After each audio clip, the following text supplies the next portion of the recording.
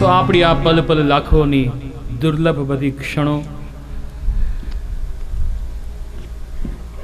એટલે જ શ્રીમદ ભાગવદ્ ગીતામાં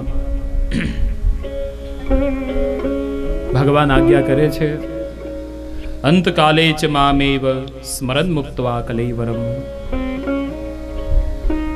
કે જે અંતકાલમાં મારું સ્મરણ કરે છે અને સ્મરણ કરતા જે દેહ ત્યાગ કરે છે, એને મારી પ્રાપ્તિ થાય છે. અહીંયા અંતકાલનો મતલબ જીવનનો અંત નહીં, અપિતુ, પ્રત્યેક ક્ષણનો અંતિમ ભાગ.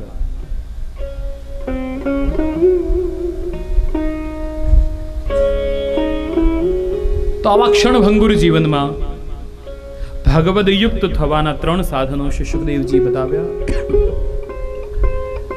શ્રવણ, સ્મરણ અને કીર્તન. સુખદેવજી કહે, રાજન, શ્રવણ કરો તો શ્રદ્ધાપૂર્વક. સ્મરણ કરો તો નિષ્કપટ થઈને. અને સ્મરણ કરો તો સંસારનું વિસ્મરણ થઈ જાય. એ રીતે સ્મરણ કરો.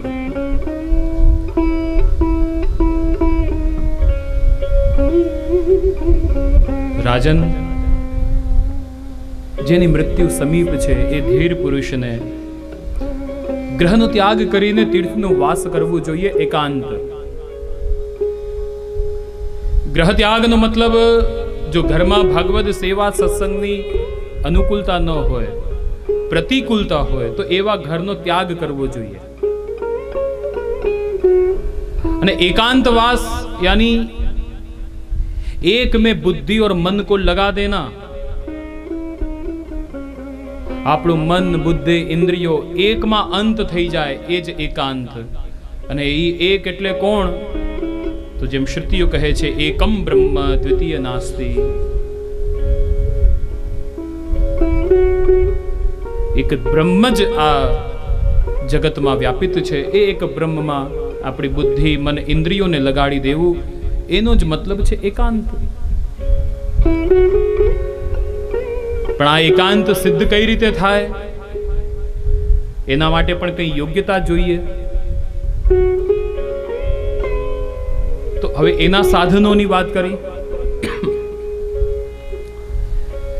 એકાંત સિદ્ધ કરવા માટે એક તો સંત ગુરુજનોનો સંગ. અને બીજું સાધન છે આસન સિદ્ધ કરવું. જિતાસનો જિતશ્વાસો જિતસંગો જિતેન્દ્રિય. સ્થૂલે ભાગવતો રૂપે મન સંધારયે દ્વિયા.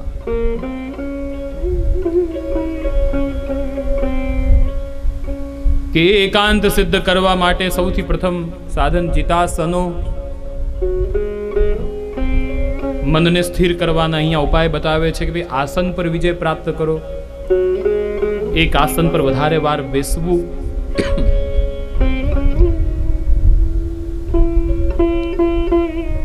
જેમ તમે લોકો અહીંયા બધા બેઠા છો, ત્રણ કલાક, ચાર કલાક, સાડા ત્રણ કલાક, જેટલા પણ એક એક આસન ઉપર બેસીને આ પણ એક મોટું તપ છે. એક આસન ઉપર બેસવાનું. અને એ પણ ચૂપચાપ વાતો નહીં કરવાની. બહુ બહુ કઠિન કામ છે? સરળ નથી, તમારું કામ બહુ કઠિન છે. મારા કરતા કઠિન તમારું કામ છે.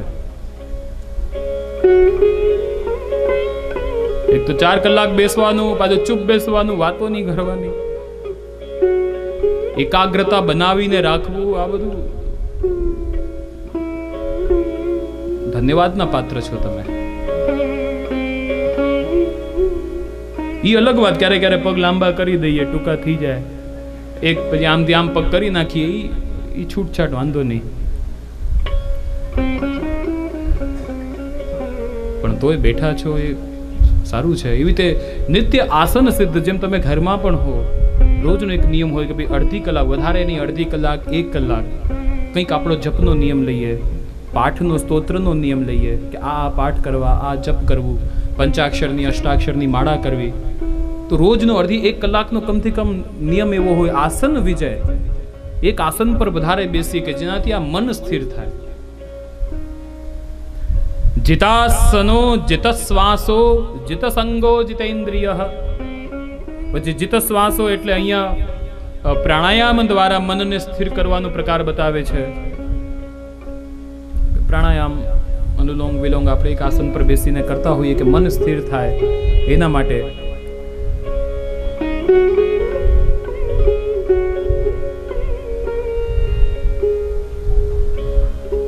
હવે પ્રાણાયામ યા આસન પર વિજય મેળવવા માટે આ બધું યમ નિયમનું જ્ઞાન હોવું ખૂબ જરૂરી છે. આ બધું અષ્ટાંગ યોગ માનો હા, યમ નિયમ ને પછી આસન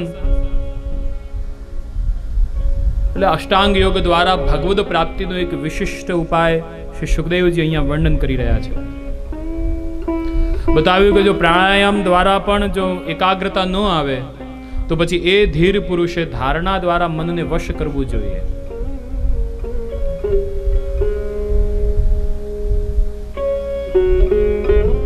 કે આસન એવં પ્રાણાયામ દ્વારા બધી ઇન્દ્રિયોને વશ કરી ભગવાનના સગુણ સ્વરૂપમાં બુદ્ધિ દ્વારા મનથી ધારણ કરવું એનું નામ ધારણા. ધારણાના બે પ્રકાર, એક સ્થૂલ ધારણા અને બીજું સૂક્ષ્મ ધારણા.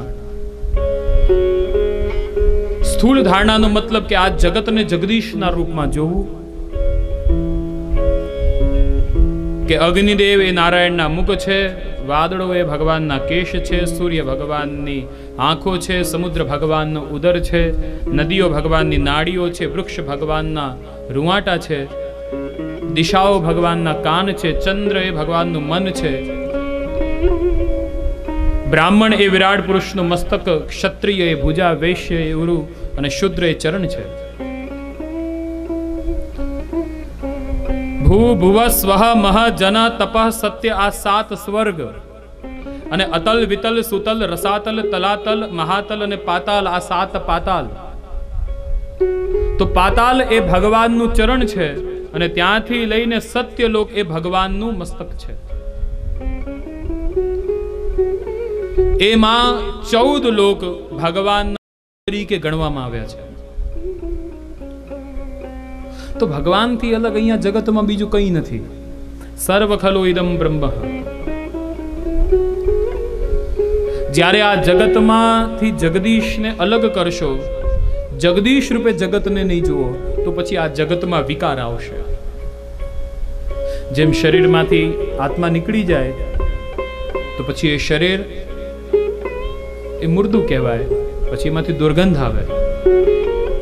એવી રીતે જગતને જગદીશથી અલગ જોશો તો આ જગતમાં વિકાર આવશે. તો આથી સ્થૂળ ધારણા કે આ જગત જગદીશનું રૂપ છે. સ્થૂળ ધારણા થઈ. બીજું એક સૂક્ષ્મ ધારણા કે અનામિકાથી અંગુષ્ઠ જેટલા સ્વરૂપને હૃદય મંડલમાં પધરાવવું, એમનું ધ્યાન ધરવું, એમની સેવા કરવી. આ સૂક્ષ્મ ધારણા થઈ. આ બધા અષ્ટાંગ યોગના પ્રકાર પણ બધા આ યોગ આદિ બધા ઘણા કઠિન છે. કારણ કે જે અષ્ટાંગ યોગમાંનો પહેલો જે છે યોગ યમ. હવે એ યમને સિદ્ધ કરવા માટેના પાછા એના પાંચ નિયમ છે. સત્ય, અહિંસા અસ્તેય અપરિગ્રહ, બ્રહ્મચર્ય. અષ્ટાંગ યોગમાંનો બીજો નિયમ, એ નિયમને સાર્થક પાલન કરવા માટેના પાછા પાંચ નિયમ. શૌચ, સંતોષ, સ્વાધ્યાય, ઈશ્વર પ્રાધ્યાય, તપ. એટલે યમ નિયમ આસન આદિ આ ઘણું ક્લિષ્ટ છે. પણ તો પણ વૈષ્ણવ કંઈ ના કંઈ નિયમ દરેક વૈષ્ણવે કંઈક લેવું જ જોઈએ ઘરમાં પણ. કે ભાઈ રોજ એક યમનાષ્ટક સર્વોત્તમનો પાઠ કરવો છે, પછી જ પ્રસાદ લેવો છે. રોજ એક વાર્તા જે વાંચવી છે, એના વગર એક દિવસ આપણો પૂરો ન થાય. કંઈ ના કંઈ નિયમ અવશ્ય વૈષ્ણવોની દિનચર્યામાં હોવો જ જોઈએ. આ ઇન્દ્રિયો પર અંકુશ લગાવવું પડશે. નિયમ દ્વારા. અને જો આ ઇન્દ્રિયો પર અંકુશ નહીં લગાવો, તો આ ઇન્દ્રિયો પછી ભોગની ઓર ભાગશે. એની અંકુશ આવશ્યક છે. તો મનને સ્થિર કરવાના સાધનો શ્રી સુખદેવજીએ બતાવ્યા. પછી ભગવાનના સૂક્ષ્મ રૂપોનું ધ્યાન કરાવ્યું, જ્ઞાન કરાવ્યું. અને સાથે સાથે ભિન્ન ભિન્ન કામનાઓને પૂર્તિ કરવા માટે કયા કયા દેવોની ઉપાસના કરવી? એનું નિરૂપણ કર્યું. પછી શ્રી પરીક્ષિતજી મહારાજ શ્રી સુખદેવજીને પૂછે છે કે ભગવાન મને એ બતાવો કે ભગવાને આ સૃષ્ટિનું સર્જન, પાલન, વિસર્જન કઈ રીતે કર્યું છે? જ્યાં સૃષ્ટિ સર્જનની વાત આવી, સુખદેવજીને સ્મરણ થયું કે આ સૃષ્ટિના કરતા એ ભગવાનનું તો મંગલાચરણ કરવાનું જ હું ભૂલી ગયો. સીધો જ ઉપદેશ પ્રારંભ કરી દીધો વર્યાને સ્નેશ તે પ્રશ્ન. બાકી કથાનો તો નિયમ એવો હે, પેલા મંગલાચરણ કરવું જોઈએ. પણ સુખદેવજી મંગલાચરણ ન કર્યો. મંગલાચરણ પરમ આવશ્યક છે. કારણ કે પ્રાય વક્તા શ્રોતાના મન જે બહાર ભટકેલા હોય, તો કે મંગલાચરણ દ્વારા એ મન સ્થિર થાય છે.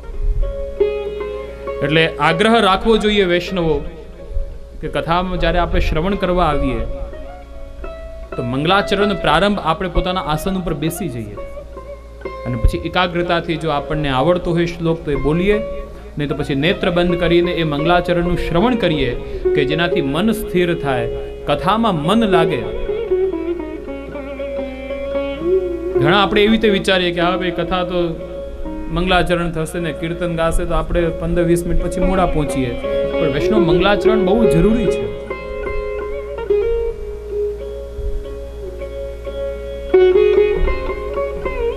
હવે એમ જોવા જઈએ તો સુખદેવજીને મંગલાચરણની આવશ્યકતા નથી, કારણ કે એમનું મન તો સ્થિર જ છે. તો પણ કથાના નિયમને ધ્યાનમાં રાખીને શ્રી સુખદેવજી મહારાજે મંગલાચરણ કર્યું. અને મંગલાચરણમાં શ્રી મહાપ્રભુજી બતાવ્યો કે એમના જે દીક્ષા છે, રાધા, એમનું સ્મરણ કર્યું છે. નમો નમસ્તે વૃષભાય સાત્વતામ, વિદુર કાષ્ઠાય મુહુકુહયોગીનામ, નિરસ્ત સામ્યાતિશયન રાધસા, સ્વધામની બ્રહ્મણી રંસ્યતે નમઃ. અહીંયા રાધસા શબ્દથી રાધા, રાધાજીનો એમનું સ્મરણ કર્યું, એમનું વંદન કર્યું કારણ કે કૃષ્ણ નામની દીક્ષા એ શ્રી સુખદેવજીને શ્રી સ્વામીજીએ રાધાજી આપેલી છે.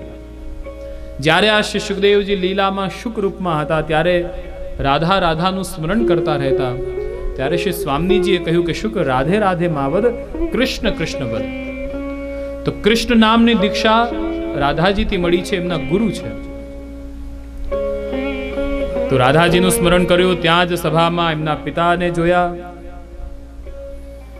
એમનાથી ભાગવત પ્રાપ્ત થયું છે એટલે એમને વંદન કર્યું. નમસ્તસ્મૈ ભગવતે વાસુદેવાય વેદ્યસે પપુર જ્ઞાનમયમ સૌમ્યાયન મુખા બુરુહાસવમ. બધાને વંદન કર્યા, બાર શ્લોકોમાં મંગલાચરણ કર્યું અને પછી સૃષ્ટિ સર્જનનો ઇતિહાસ શ્રી સુખદેવજીએ પરીક્ષિતજીને સંભળાવ્યો. વિરાટ સ્વરૂપનું વર્ણન કર્યું. અને એ વિરાટ સ્વરૂપની નાભીમાંથી કમલ પ્રગટ થયું. એ કમલમાંથી બ્રહ્માજી પ્રગટ થયા. પ્રગટ થતાની સાથે ચારે દિશાઓમાં જોવા લાગ્યા કે હું ક્યાંથી આવ્યો? પણ બધી જગ્યાએ જલ જલ દેખાયું. પછી જે નાભી, જે જે કમલમાંથી એ આવ્યા હતા, એ કમલની નાલમાં ગયા. તો કોઈ અંત ન આવ્યો. પાણી પાણી બધી જગ્યાએ દેખાયું અને પછી એ સમયે બે શબ્દ એમને સંભળાયા. તપ તપ. જ્યાં બે શબ્દ એમને બ્રહ્માજીએ શ્રવણ કર્યા, વિચાર્યું કે જેને મને પ્રગટ કર્યો છે એની આજ્ઞા છે કે હું તપ કરું. અને પછી એક હજાર વર્ષ, દેવ વર્ષ બ્રહ્માજીએ તપસ્યા કરી તપસ્યા તપસ્યા કરી ભગવાન પ્રસન્ન થયા પ્રભુનો અનુભવ થયો મનમાં શાંતિ થઈ એવા શાંત સ્વરૂપ ભગવાનના દર્શન કર્યા શાંતાકારમ ભુજગશયનમ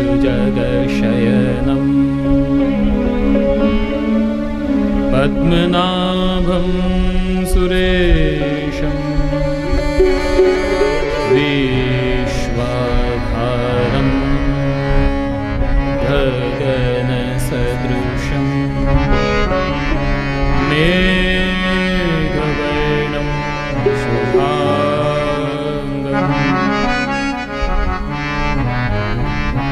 એવા શાંતાકાર પ્રભુના દર્શન કર્યા ભગવાને એમને આજ્ઞા કરી, હે બ્રહ્મા, આપ આ સૃષ્ટિનું સર્જન કરો.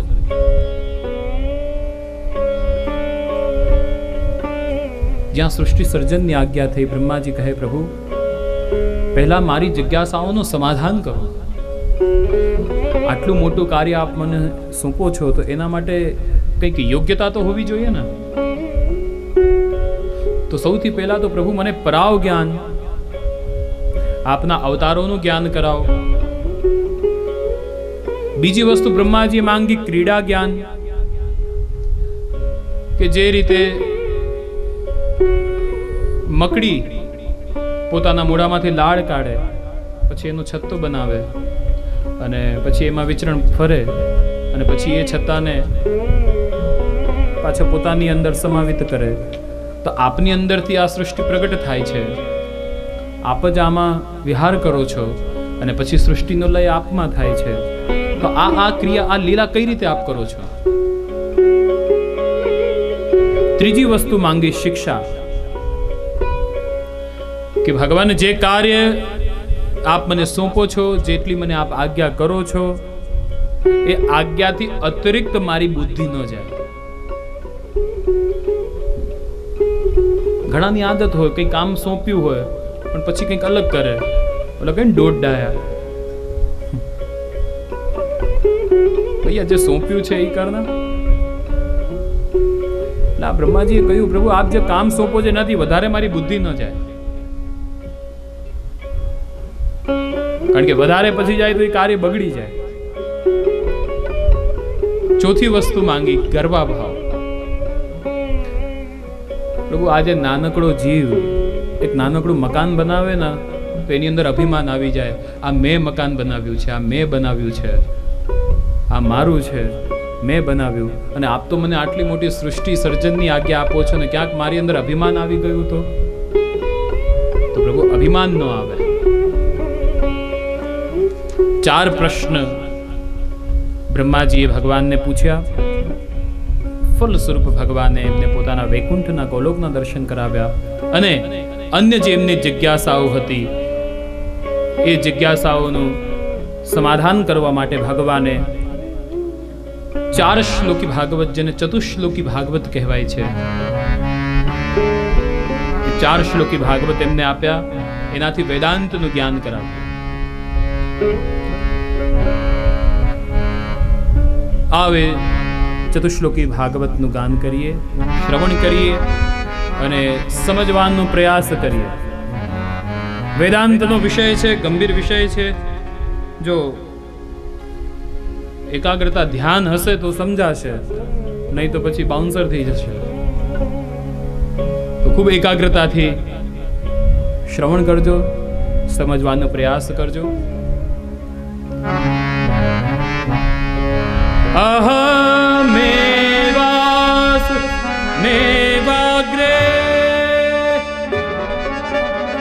नानियत् सह सत्परम् पश्चादहो यदेतच्च यो वशिष्येतसोऽस्म्यहम्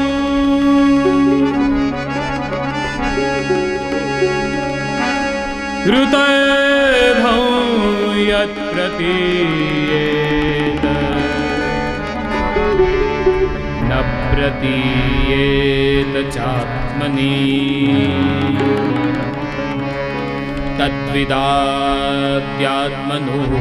माया। यथा वासो यथा तमः। यथा महन्ति भूतानि भूतेश्चापतिष्वनु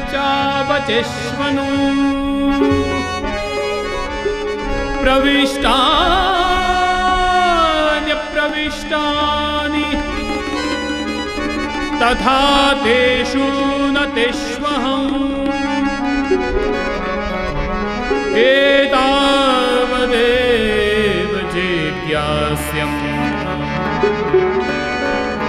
तत्त्वजिज्ञासुनात्मनः अन्वयव्यतिरेकाम्या यत् स्यात् सर्वत्र सर्वदा अहमेवाग्रे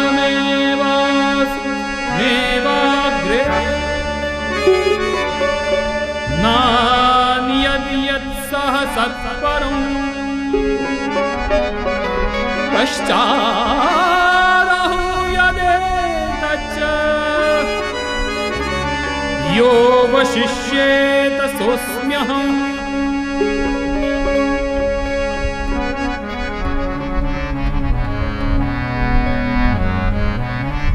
तो